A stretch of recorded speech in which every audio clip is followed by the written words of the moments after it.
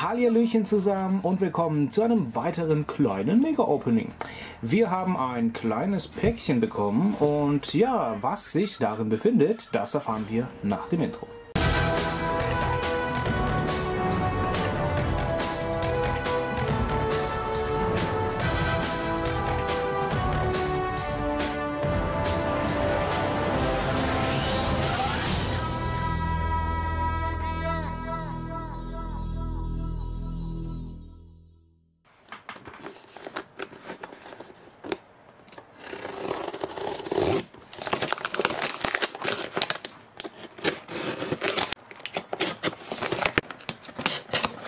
So, ja, ihr habt es erfasst. Wir haben einen ganz großen Haufen Papier.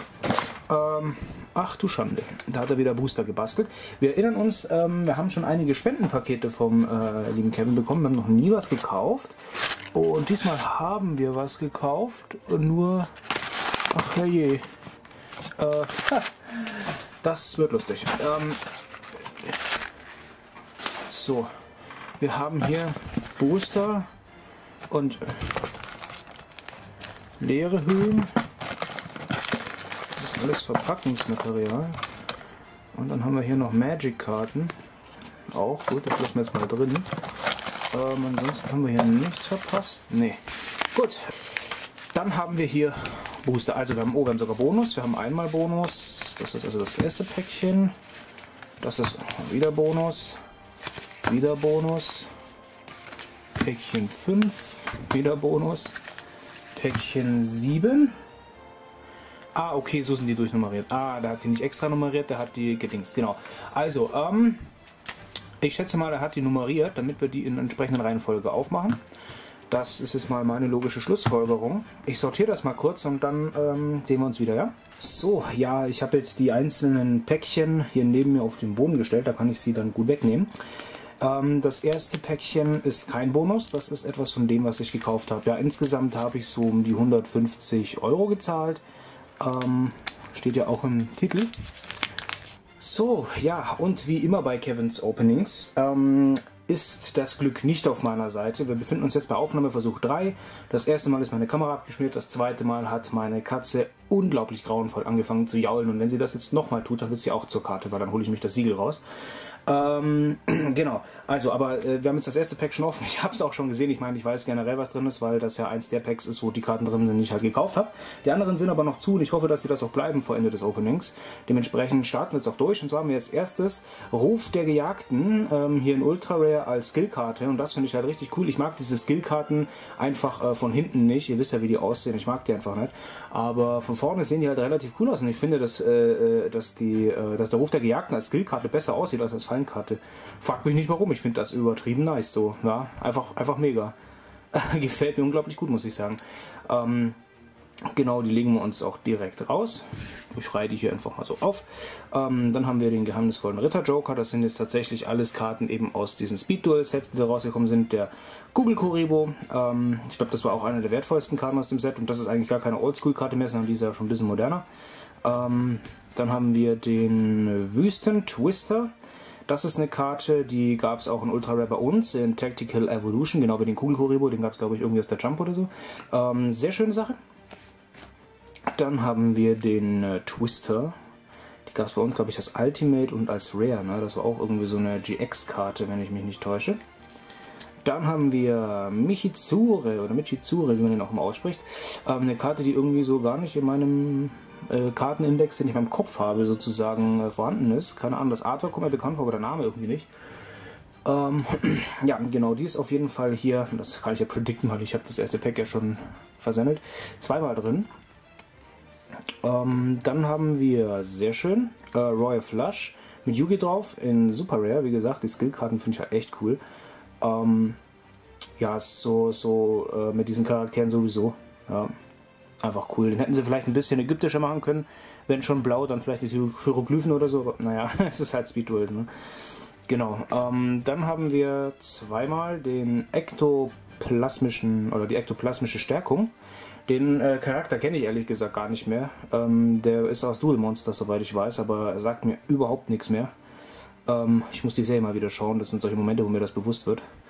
Und ja, und wie gesagt, so sieht halt die Rückseite aus und das gefällt mir nicht, weil das ist nicht, nicht typisch Yu-Gi-Oh! Das ist, also ich finde, Yu-Gi-Oh! sollte nicht alle seine Erkennungsmerkmale über Bord werfen, auch nicht für Skillkarten. Die haben wir eben auch zweimal drin in Super Rare. Ähm, okay, und das ist jetzt die letzte Karte, bei der ich angekommen bin, bevor alle meine Kamera abgeschmiert ist. Ähm, das heißt, alles, was danach kommt, ist jetzt für mich eine halbe Überraschung, sage ich mal, weil ich habe die Karten ja gekauft, ich habe die Liste gesehen, ich habe die Preise so ein bisschen äh, abgeglichen, sage ich mal. Ähm, genau, und ja, das ist, äh, wie heißt die Karte? Ödland, glaube ich. Ähm, bei uns ist das auf jeden Fall eine normale Zauberkarte. Hier ist das wieder eine Skillkarte. Sehr schön auf jeden Fall. sieht mega nice aus. Also speziell diese Art von Skillkarten gefallen mir sehr gut wie halt im Ruf der Gejagten und eben äh, direkt ins Grab. Ähm, genau, haben wir hier anscheinend noch ein zweites Mal. Und oh, dann haben wir, sehr cool, Senju der 1000 Hände, ja, weil äh, wir haben ja den Manju, der der schon äh, einen Super Rare Print bekommen, der hat schon Holoprint. Äh, Senju hat immer darauf warten müssen und ja, jetzt hat er endlich einen, auch wenn es in Speed Duels ist. Du kannst ja die normalen Speed Duel Karten auch im normalen Game einsetzen, nur umgekehrt nicht. Ähm, gefällt mir auf jeden Fall sehr gut, ja, finde ich schön, dass sie den jetzt in Super Rare rausgebracht haben. Und mir gefällt auch das Finish der Karten irgendwie. Also das sieht halt echt geil aus. Muss man einfach sagen. Sieht echt geil aus. Oh, wir haben nochmal einen Senju. Einen zweiten. Dann haben wir in Ahain Super Rare den äh, Ritter des Königs. Die gab es, glaube ich, äh, oh Gott, als was gab es die bei uns? Ähm, in Ultimate gab es ihn und in Rare, glaube ich, ne? Und in Kamen halt. Also der Super Rare Print müsste neu sein. Oder vielleicht auch ein Ultra aus irgendeiner Legendary Collection. Bin ich mir jetzt gerade nicht sicher. Aber Super Rare haben wir ihn oder müssten wir ihn auf jeden Fall noch nicht haben. Dann haben wir den schwarzen Meteordrachen. Den haben wir bereits in Super Rare und zwar aus PRC 1, glaube ich. Das war so eine kleine Tinbox. Da war auch der Meteordrache drin. Den äh, weiß nicht, ja doch, nur da glaube ich, sonst hatte der keinen Reprint mehr.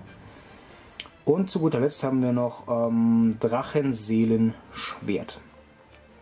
Ja, genau. Das, das waren, glaube ich, alle Holos aus diesem Set. Ähm, er hat das ganze Display aufgemacht so. Und ähm, genau, das dürften alle Holos auf jeden Fall gewesen sein. Ich glaube, mehr war da auch nicht. Ähm, wir kommen zum zweiten Pack. Ja, das ist jetzt wieder der Moment, wo ich irgendwie ganz unsanft unterbrochen werde. Ähm, ja, ihr seht ja, ich habe äh, gezahlt äh, 150 Euro, sollte ja auch im Ding stehen, im Titel. Das ist ein relativ guter Preis, vor allen Dingen, wenn man dann noch bedenkt, was da vielleicht gratis mit dabei ist. Ich weiß es zwar nicht, aber in der Regel nichts allzu Schlechtes. Und was zum Fick? Okay. Äh, dann machen wir den Käse hier mal auf.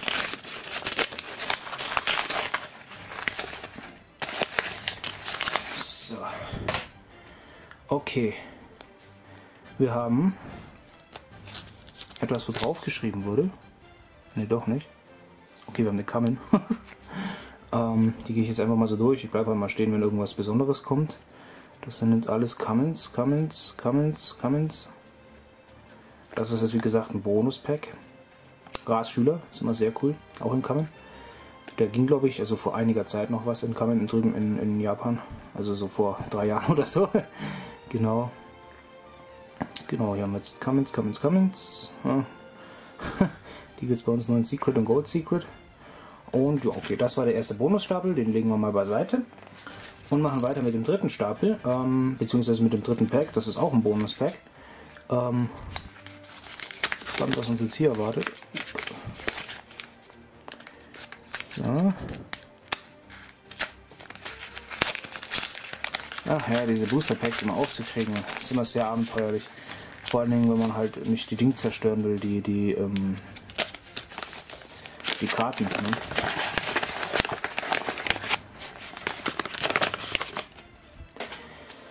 So, ah, es geht weiter mit Rares, habe ich das Gefühl. Ähm, gehen wir mal durch. Okay, interessant. Das sind alles so Karten, die wir als Secret oder Super Rare kennen aus Dragon of Legends. Blocker, ja. Genau. Oh, Lillybotter. okay, auch cool. Jetzt haben wir Rares gehabt. Kommen wir zum Pack Nummer 4. Pack Nummer 4. Ähm, brauchen wir dafür ein Messer? Ah, hier. Huh, das war knapp. So, was erwartet uns im Bonus Pack 4? Oh, hier haben wir jetzt Holos. Genau, Rangsteigerungszauber in Ultra Rare. Sehr schön. Nochmal ein Rangsteigerungszauber. Ah, in Super Rare, ähm, das Auge von haben wir Triebwagen Raufbold in Super Rare. Dann die Nummer 58, auch cool. Die gab es bei uns, glaube ich, soweit ich das beurteilen kann, nur in Kammen. Dann haben wir, oh, C Nummer 73, Abyss Superspritzer hieß die, glaube ich. Oder war es der normale Abyss? Aber nee, das müsste der Abyss Superspritzer gewesen sein. Auch cool. Bei dem Namen musste man damals immer ein bisschen lachen. ähm, dann haben wir den Mathematiker, auch cool. Ein Super Rare. Gab es die mal in Super? Ich glaube, den gab es nur in Secret und Gold oder so, ein, so ein Zeug, ne? oder ein Ultra. Aber in Super glaube ich nicht. Sehr schön. Und dann haben wir noch A Brachialsense. Ähm, Wächter Brachialsense, genau. Den gab es bei uns ja auch in Secret und in Ultra Rare. Also sehr schön auf jeden Fall. Das ist ein cooles Bonus-Pack gewesen. Das hat mir sehr gut gefallen. Zwei Ultras und der Rest super. Richtig cool. Machen wir weiter mit Pack Nummer 5. Pack Nummer 5 ist jetzt wieder was gekauftes. Äh, ich weiß jetzt noch nicht genau, was von den gekauften sich da drin befindet. Aber ich weiß, was ich, mich, was ich mir im Allgemeinen gekauft habe. Dementsprechend wird das jetzt wieder eher eine Überraschung für euch sein, als eine Überraschung für mich.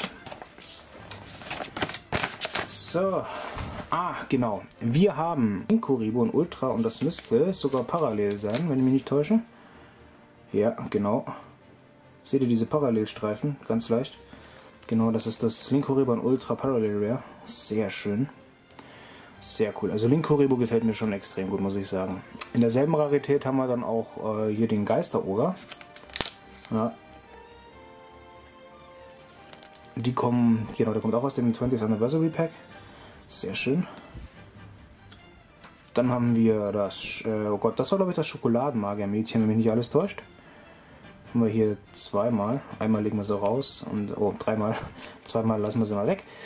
Dann, oh Gott, oh Gott, oh Gott, wie hieß die Karte nochmal? Ich weiß es gerade nicht. ne, aber die war sehr, sehr beliebt auf jeden Fall. Die kam ja in Super Rare raus, in einer Special Edition und war da relativ äh, begehrt, sag ich mal. Und dann das kam in einem Hauptset, war es Extreme Force, irgendwie sowas, keine Ahnung. Auf jeden Fall cool, nice to have. Ist auch in diesem ähm, Ultra Parallel. Da haben wir auch zwei von, die legen wir uns auch mal raus. Die sind halt echt geil. Dann haben wir in Ultra Rare den roten Neustart. War bei uns eine Super Rare, eine der, oder die teuerste Super Rare in dem Hauptset, in dem sie damals rauskam. Sehr cool. Ähm, oh, davon haben wir eins, zwei, und noch einen dritten sogar. Auch cool. So, wir machen weiter mit dem Pack Nummer 6. Das ist wieder ein Bonus-Pack. Hier haben wir jetzt also wieder Karten drin, die ähm, nicht im Kaufumfang enthalten waren sozusagen. Äh, bin gespannt. Ob wir jetzt, äh, also ich nehme mal von der Dicke des Packs, äh, entnehme ich einfach mal, dass wir äh, hier wieder einen Haufen Cummins drin haben werden. Oh, nice. Schaut euch das mal an. Der Red Eyes Beat Dragon. First aus dem Starterdeck Joey Deutsch.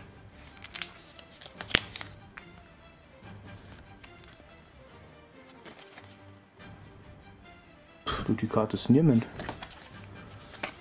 Karte ist... Oh, jetzt habe ich mich zwar gespoilert, aber what the heck? Okay, die legen uns auf jeden Fall mal raus. Das ist ja mal mega krass. Schaut euch das mal an. Dark Magician. Der sieht auch niemand aus. Aus dem Starterdeck. Oder warte, hat er da einen Knick? Ja, hier hat er einen leichten Knick. Das gucken wir uns doch mal an. Versuchen diesmal nicht zu spoilern. Okay. Nee, nee, der ist Played. Der ist Played. Aber der ist trotzdem noch ähm, besser äh, vom Zustand her als so manche andere Dark Magicians, die man so findet. Auf jeden Fall mega cool. Der Dark Magician, haben wir noch den Blue Eyes. Den Blue Eyes aus dem SKE ein Super Rare. Dann den Dark Magician aus dem Duelist Pack Battle City. Oh, Bestrafungsdrache. Mega nice, Leute. Mega nice. Ist das Code of the Duelist. Eine Ultra. Eine Booster Ultra. Alter. Bestrafungsdrache, Mann. Ja, dem habe ich. Dem habe ich witzigerweise, als das Set neu war, ewig hinterher äh, gejagt sozusagen. Wollte mir keiner geben. Jetzt habe ich auf einmal alle. Geil. Den gibt es auch in Ultimate Rare aus Japan, das sieht auch mega fett aus. Jetzt haben wir hier eine Rare. Der blauäugige ultimative Drache. Dann Jinzo in Rare aus dem Battle Pack. Oh, nice! Guckt euch das mal an. Das ist ein Harpchen Flederwisch aus P5 in Ultra Rare. Nice, sogar im alten Layout, im, im zweitältesten, das es gibt. Also das älteste, nochmal so als kleine Info, da war der obere Kasten hier ein bisschen schmäler und es gab keine Set-Angabe und auch kein Auge von Anubis. Sehr cool. Das ist einfach geil, Leute. Das ist geil. Den legen wir auch mal raus. Dann haben wir nochmal als Bonus einen ähm, Ritter des Königs in Super Rare. Sehr schön. Oh, geil. Guckt euch das mal an, Leute. Aus dem Originalset von damals. Ähm, der Paladin des Weißen Drachen in Ultra Rare. Bei uns erschienen MFC. Magician's Force. Hier aus dem Originalset 302. Ich muss mal gucken, gab es irgendeine Zensur? Ich glaube nicht, ne? Mega nice. Ich liebe diese Karte. Ich liebe sie einfach. Das ist so übertrieben fett. Alter. Die legen wir natürlich auch raus. Gerfried, der Eisenritter, den gab es bei uns in Super Rare auch aus ähm, PSV. Genau, wir haben ihn hier jetzt aber auch wieder im alten Layout, was halt richtig geil ist. Im alten sieht halt mega nice aus. Sehr schöne Karte, muss man schon sagen. Und auch die Lore zu Gerfried ist relativ cool. Ich glaube, ähm, Yu-Gi-Oh! Insider hat da mal ein paar Videos zu gemacht. Dann haben wir, hm, da sehe ich was, und zwar haben wir hier die Karte der sicheren Wiederkehr. Ähm, und zwar im unzensierten Artwork. Da hat der Dude nämlich nichts an. Ja, das ähm, erinnert mich immer so an ein Video von Influencer-Ente, äh, wo er mal die Karte gezeigt hat und dann gesagt hat, er findet das viel geil, wenn der Typ nichts anhat. viel geiler, wenn der Typ nichts anhat. Da dachte ich mir auch so, okay. Ähm, nee, aber das ist auf jeden Fall eine, eine echt coole Karte, so im unzensierten Artwork. Wobei ich jetzt nicht sagen kann, dass die im unzensierten irgendwie schöner ist als die im, im zensierten Artwork, weil das macht sich halt, das ist halt, da ist halt nicht viel um, weißt du. Genau. Das ist cool, dass wir die haben. Die ist wichtig für die Samen. Oh, oh, oh, Leute, guckt euch das mal an. Ein faszinierender Kreis im unzensierten Artwork. Ähm, auf jeden Fall mega cool. Ich glaube, die ist auch so ein Fünfer oder sowas in der Richtung wert. Dann haben wir Ah, Chimera Tech Überdrache. Auch eine schöne Karte. Die gibt es auch bei uns als Ultra ähm, oder als Ultimate Rare, glaube ich.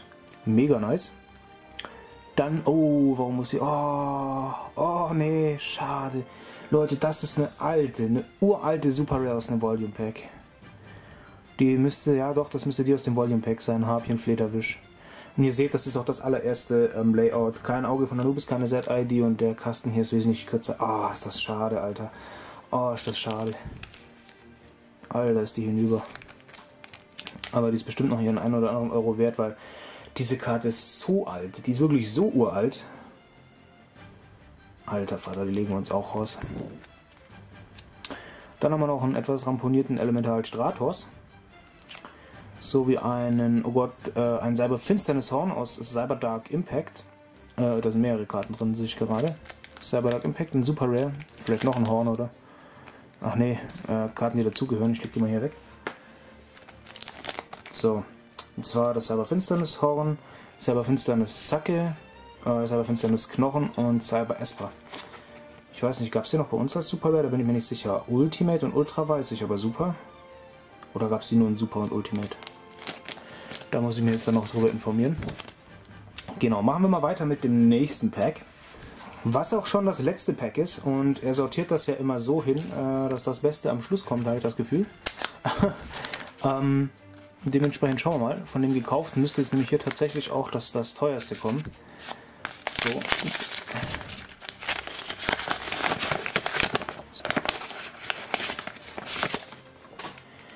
Genau, wir haben Slifer den Himmelsdrachen in KC Rare, ihr seht es hier vielleicht. Erstmal die Schrift ist wie von einer Ghost Rare. Das Bild ist unholographisch und wir haben hier diese KC-Folie. Man sieht es hier sogar relativ gut. Sie Holo, äh, macht jetzt zwar keinen Holo-Effekt, aber man sieht halt den, die, die ähm, Textur. Ja, genau, das ist auf jeden Fall mega cool. Ähm, warum nur ein? Ich glaube, da waren zwei dabei. Hm. Okay, ich muss mal gucken. Äh, genau, dann ja, das typische Magi Magi Magician Girl. Ähm, kennen wir alle aus der V-Jump.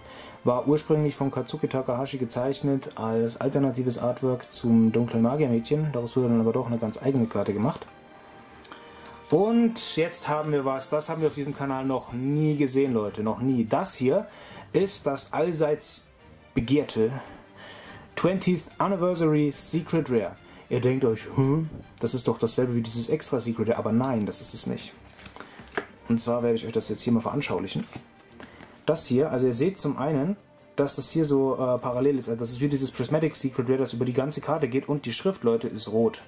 Ja, das ist 20th Anniversary Secret Rare. Diese Karten sind, also die hier jetzt nicht so, die sind nicht so teuer, das sind diese Promos. Bei uns waren die in dieser Dual Power Box als Promo Pack drin in Ultra Rare.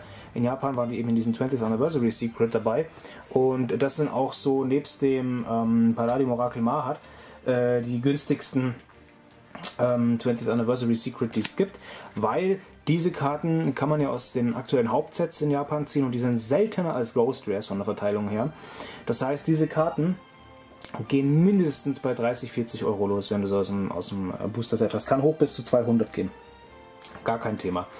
Also da haben wir Elementar halt Neos in dieser Rarität. Dann haben wir den ähm, Nummer 39 Utopia in äh, 20th Anniversary Secret. Dann haben wir den buntäugigen Bendeldrachen in 20th Anniversary Secret. Das ist glaube ich sogar die günstigste von allen, die es gibt.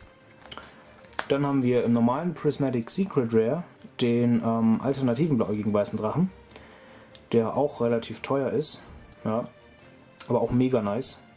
Das ist also wirklich, das, das sind so die Highlights des Ganzen.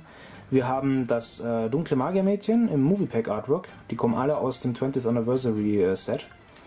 Ähm, mega geil. In Secret Rare auch noch nie gesehen. Sehr schön. Die ist ursprünglich auch in KC Rare rausgekommen und war mit 80 Euro saumäßig teuer. Heute ist es so eine 1-Euro-Karte bei uns und auch die KC-Variante kostet nichts mehr. Hier haben wir jetzt den, den Wyvern aus diesen ähm, 20th Anniversary Promos.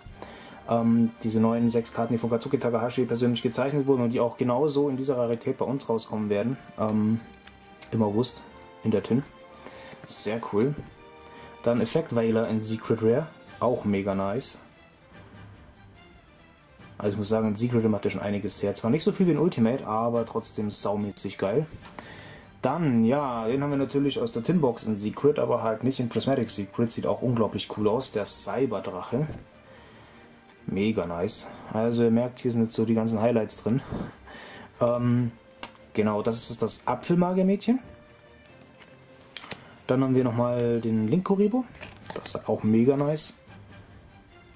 Link Koribo in Prismatic Secret. Macht halt auch ganz schön was her so. Ich könnte mir Link Koribo auch gut in Ultimate Rare vorstellen. Das ist übrigens einer der wenigen modernen Koribos, den ich cool finde. Ja, also muss man einfach mal sagen. Dann eine Karte, deren Namen ich jetzt gerade leider nicht weiß. Aber die ist bei uns, glaube ich, auch irgendwo rausgekommen. Ich weiß aber nicht mehr, welche Karte das ist. Das, äh, das, nee, kann ich mich leider nicht mehr daran erinnern. Und zu guter Letzt haben wir nochmal roter Neustart und zwar ein Prismatic Secret Rare. Ja, das soll es gewesen sein. Vielen Dank, lieber Kevin, für unseren guten Deal und für die netten Bonuskarten. Äh, ihr könnt mir jetzt mal ein Feedback dalassen, ob ihr mit der Sendung genauso zufrieden seid wie ich. Wir sehen uns zu einem weiteren Mega Opening und bis dahin macht's gut und haltet die Ohren steif.